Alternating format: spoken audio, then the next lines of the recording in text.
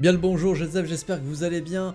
Aujourd'hui je suis donc prêt après plusieurs jours de jeu à vous délivrer mon avis sur Shining Maiden. Donc c'est parti. Alors on va pas parler exactement de euh, qu'est-ce que c'est Shining Maiden, euh, quelles sont les différences, euh, quel est le gameplay, qu'est-ce qu'on fait dans le jeu, puisque je vous l'ai déjà présenté dans la précédente vidéo.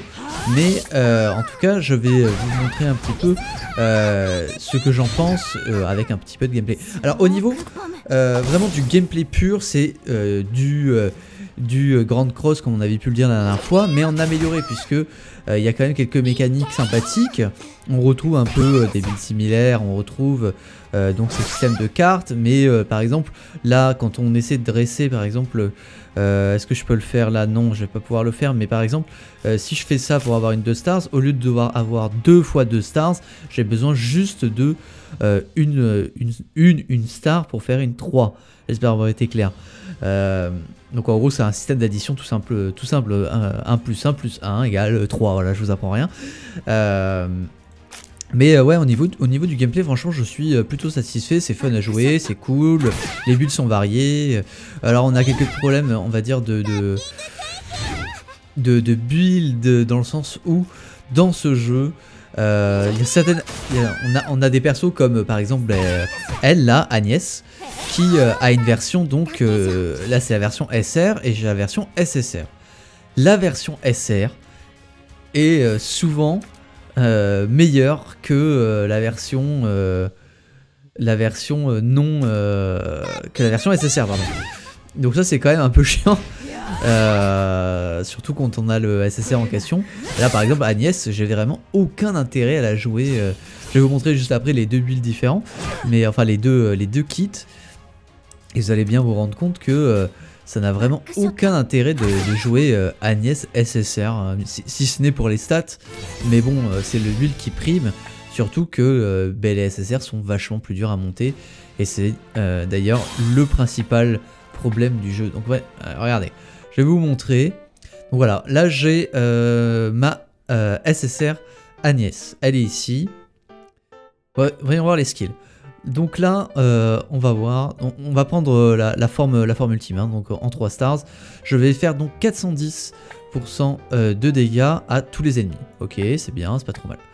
Là, je vais pouvoir me mettre Berserk. Berserk, ça augmente, comme vous pouvez le voir ici, les dégâts que j'inflige, mais également donc les dégâts que je reçois. Donc j'augmente ma force de 20% pendant 6 tours, et, mais je prends 20% supplémentaire également. Et euh, ici, je vais faire 390% de dégâts à un ennemi et je vais le stun pendant 4 tours. Ok. Maintenant, voyons la Agnès euh, SR, qui est donc plus facile à monter, qui coûte moins cher. Voilà. Alors, je vais faire effectivement 350% de dégâts. L'autre, c'était 450, donc 100% de plus. Mais je vais récupérer 15% de vie à chaque fois que je frappe. Et donc en zone, donc euh, je me régène quand même pas trop euh, de façon pas trop dégueulasse. Ici, je fais 380% de dégâts en zone, donc encore une fois de la zone. Donc c'est lourd. Et en plus de ça, je vais, faire 280% ici en zone encore une fois.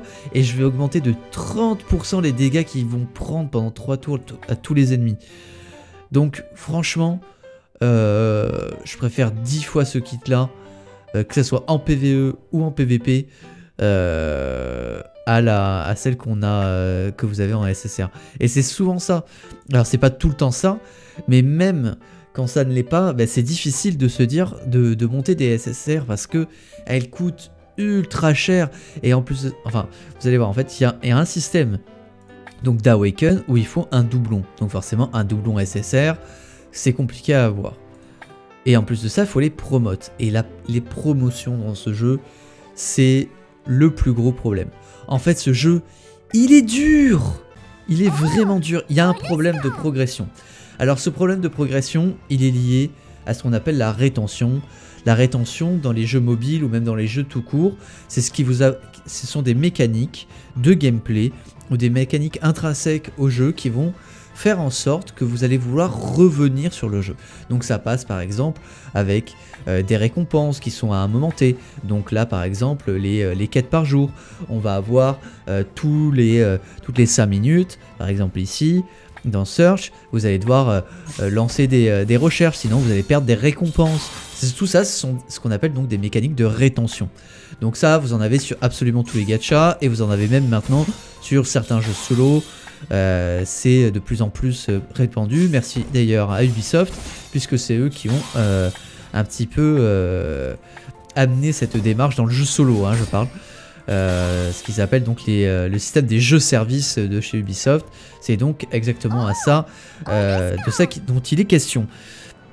Donc le jeu en termes de gameplay, il n'y a vraiment rien à dire. Par contre, c'est vraiment une tannée pour euh, augmenter ses personnages. Je vais vous dire pourquoi. Bah, mettons, nous allons aller, euh, voilà, ici, Bergenta. Ok, je vais prendre en expert, puisque pour l'instant le master je peux pas le faire, je suis passé, euh, je suis up. Donc là, mettons ce, ce boss là, ok Donc, ce boss là, ça me coûte 3 d'énergie, d'accord? C'est très très peu. C'est très très peu. Et euh, comme vous pouvez le constater en dessus, j'ai quand même, ça fait quand même plusieurs jours d'affilée que je joue tout le temps et je n'arrive jamais à zéro parce que euh, j'ai trop d'énergie. J'ai trop d'énergie. Et en soi, le jeu, il faut que vous le lanciez H24 pour que euh, vous ayez assez de monnaie pour augmenter vos persos. Ça coûte cher et c'est super long. Donc on peut clear là, mais est-ce que c'est intéressant? Je peux le faire que 109 fois, et en plus de ça, ça va pas utiliser mon énergie, donc c'est pas worse. Donc là, mettons, je, vais faire un clear pour que vous voyez combien de, de monnaie j'ai. J'en ai 22. Pour une SR, pour une SR, hein, mettons n'importe laquelle, euh, une que j'ai montée, mettons Karen là. Pour la montée, pour le premier promote, il m'en faut 680. D'accord? Donc vous en avez environ 22, euh, on va dire 20 à chaque, euh, à chaque truc pour 3 d'énergie. Donc en gros vous allez euh, devoir lancer ça toute la journée. Alors heureusement qu'il y a un repeat, hein, mais c'est long. C'est putain de long. moi, moi je suis quand même pas mal pour tous ces jeux là de style gacha qui comme bah, sur, sur Legion Connect par exemple euh, vont vous permettre de raid 5 fois, 10 fois le même level et, et de pas avoir à le mater parce que ça sert à rien. Ce sont des mécaniques de rétention, toutes simples, pour que vous, vous restiez sur le jeu. Vous ayez tout le temps votre jeu ouvert, tout le temps être là, ce qui euh, donne en fait un sentiment, euh, un sentiment de dépendance au jeu, puisque vous avez mis tellement de temps et tellement de moyens, on va dire, si vous êtes une wade en plus de ça, euh, pour aller plus vite ou euh, pour avoir des persos, que vous allez avoir du mal à quitter le jeu. C'est à, ça que servent les mécaniques de rétention dans l'univers du gacha, hein, plus particulièrement. Donc ce sont des mécaniques quand même qui, moralement, ben, on le sait en fait, hein, quand on joue au gacha, on sait très bien que ce sont des jeux qui, qui vous incitent soit à acheter, soit à rester très longtemps, et à, vous à rester très longtemps justement pour vous inciter à acheter. Les packs sont très chers. Parce que comme je vous l'expliquais dans la vidéo de présentation, au niveau... Putain mais ferme ta gueule, tu parles trop. Oh là là, quelle pipelette. En gros, euh, si on regarde ici, donc au niveau des, euh, des monnaies euh, gratuites, franchement vous allez pouvoir faire plusieurs poules. C'est assez généreux à ce niveau-là, vous en avez quand même globalement pas mal. Par contre, cette monnaie-là, donc la monnaie payante, qui vous garantit quand même une SSR, hein, euh, c'est pas dégueulasse, hein, à chaque fois que vous faites, donc c'est quand même plutôt, euh, plutôt pay to win à ce niveau-là, surtout que vous allez pouvoir donc les awaken, eh bien, euh, cette monnaie-là, elle est ultra chère, vous voyez, il en faut 2700. 2700, hein. regardez combien ça coûte. 2700, c'est quasiment 30 balles. Une fois 10. 30 balles la fois 10. C'est ultra cher. 30 balles à SSR. Hein. Donc, autant vous dire que si vous voulez des SSR dans ce jeu, euh, vous n'êtes pas sorti d'affaires. Euh, si vous voulez payer, franchement, ça vaut vraiment pas le coup. C'est ultra cher. Et regardez un petit peu les, les packages. Alors, comme vous pouvez voir, moi j'ai craqué, hein. j'ai acheté, je suis faible moi hein, dans ce genre de truc. Mais je reste raisonnable quand même.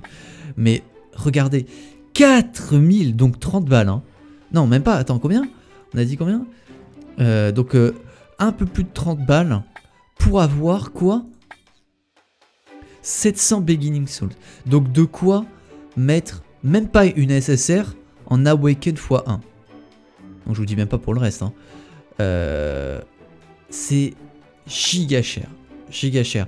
Et en plus de ça, non seulement c'est giga cher, mais euh, il vous encule parce que là, vous voyez, c'est 900, c'est pas 1000.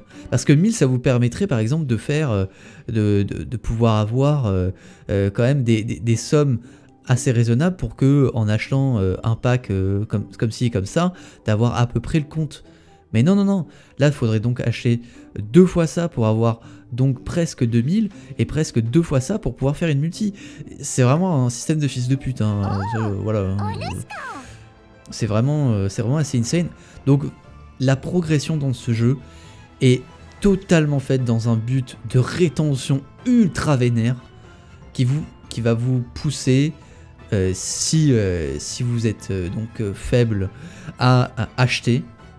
Mais en soi, vous pouvez tout à fait jouer à ce jeu en free-to-play, mais il va falloir être ultra patient, que ce soit pour avoir des SSR, hein, parce que bon, il faut, même s'il y a des très bonnes SR, et d'ailleurs dans ce jeu, il faut absolument euh, jouer les R, hein, parce que vous n'aurez pas franchement le choix de toute manière. Elles ont, il y en a qui sont franchement bien, moi vous voyez, je joue Shiroyuki et Vela, euh, elles sont très très bien, et il y en a d'autres qui sont excellentes également. Euh, j'essaie de les, trouver là. où sont-elles? Que je vous les montre afin que si vous jouiez au jeu, vous soyez euh, bien. Euh, Fuyumi est très bien. on a Ringo qui est pas trop dégueulasse. Heidi qui est bien. dans les SR aussi, on a beaucoup qui sont bien. Naja est très bien. Yulia est pas trop dégueulasse. Merge est bien.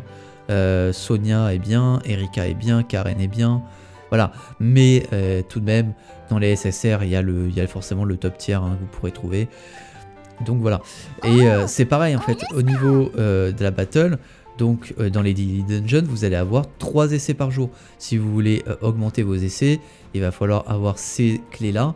Ces clés-là, on vous en donne en, en free-to-play, hein, on vous en donne quelques-unes. Mais pareil, c'est que vous avez, ils veulent que vous achetiez le labyrinthe, c'est pareil. La Tower Illusion, pour le coup, vous pouvez le faire, il me semble, autant de fois que vous voulez. Mais c'est dur. C'est ultra dur. C'est vraiment ultra dur. Donc, euh, en gros, ce jeu, c'est vraiment du farm, du farm, du farm, du farm, du farm, du farm, du farm, afin de pouvoir euh, monter vos persos pour pouvoir euh, avancer. Donc, c'est une progression très très lente. Donc, comme vous pouvez le constater, j'ai été assez euh, dur on va dire parce que là j'ai aucun intérêt. Je vous ai dit le gameplay il est bien le jeu il est joli il y a des bonnes teams le contenu euh, au niveau euh, vraiment de l'arène l'arène est très agréable c'est cool le contenu de guild est cool voilà. Vraiment à ce niveau là il y a vraiment pas grand chose à dire. Le jeu est bien. Le jeu en tant que tel est bien. Par contre les mécaniques qui gravitent autour peuvent faire peur. Donc en gros si je récapitule le jeu est quand même plutôt pay to win, mais il est très très cher, donc même les whales, je sens qu'elles vont avoir du mal.